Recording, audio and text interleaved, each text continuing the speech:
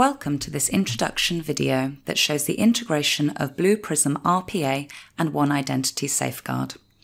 In this short demonstration, you will see how you can enhance the security of your Blue Prism deployment by using an external enterprise privilege account management solution for password vaulting and session management. With the evolution of robotic process automation technology, digital workers, sometimes called robots, are being used to automate business processes. Traditionally, privileged credentials are stored directly in the credential manager of the RPA software to enable the robots to perform privileged activities across multiple systems. The Blue Prism Credential Manager is encrypted. However, there is no way to automate password rotation or track when and where credentials were used. With One Identity Safeguard, you can automate, control, and secure the process of granting privileged access to robots. Passwords can be automatically rotated according to your compliance requirements.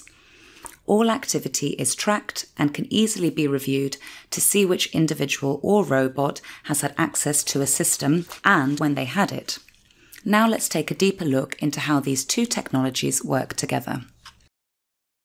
In the first step, the login agent process is launched in a resource PC to directly initiate an interactive Windows session using the username and domain password like input parameters.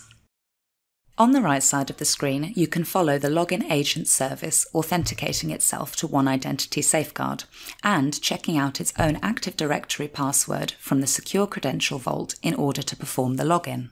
On the left side of the screen, you can see the robot starting the Blue Prism login agent. The login is complete, and the resource PC is now ready for the Blue Prism 1 robot to use.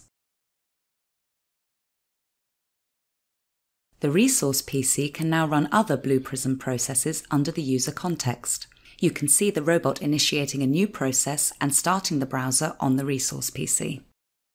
The robot needs to log into Facebook. Even before the web page loads, the robot is already authenticating to Safeguard in order to access the Facebook credentials.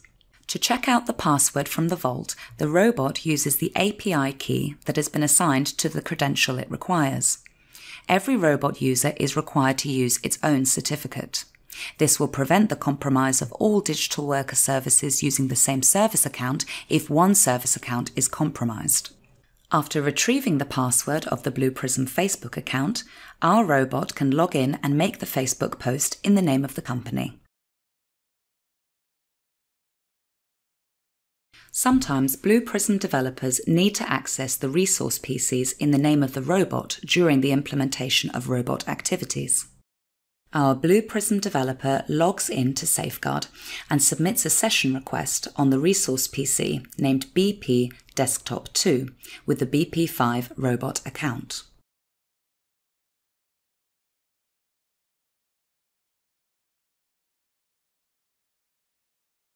This is an auto-approved request, so the developer can immediately launch the RDP session towards the resource PC.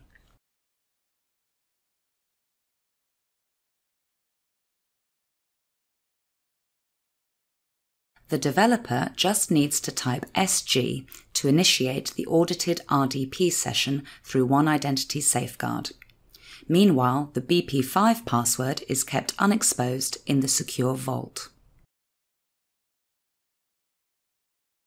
Securing robotic credentials is paramount to reducing the risk exposed to your business and your customers. For further information about the integration, please visit the corresponding white paper.